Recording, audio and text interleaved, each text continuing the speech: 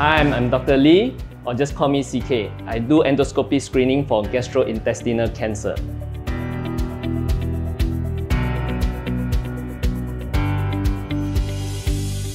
I always wanted to become a doctor as I was an easily sick child back then, and I was inspired to return the good deeds of the family doctor who treated me.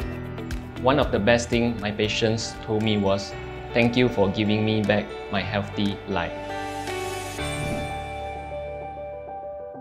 I insert a long and flexible tube with a tiny camera down your throat and into your digestive system to find polyps. I managed to help detect colorectal cancer at its early stage when patients have the best chance of recovery.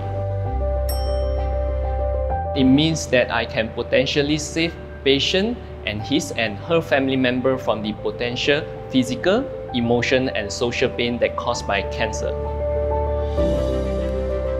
People around me describe me as approachable, friendly and willing to share. I would like to share with you a quote that I resonate with. Life is a marathon, not a sprint. I like the real communication and human interaction that comes with my profession to help patients and their family understand the health condition better and make the whole journey more bearable from diagnosis to treatment to follow-up care.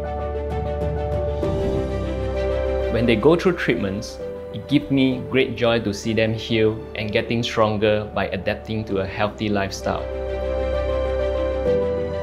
I strive to become a better doctor at work every single day and of course, a better husband and father at home too.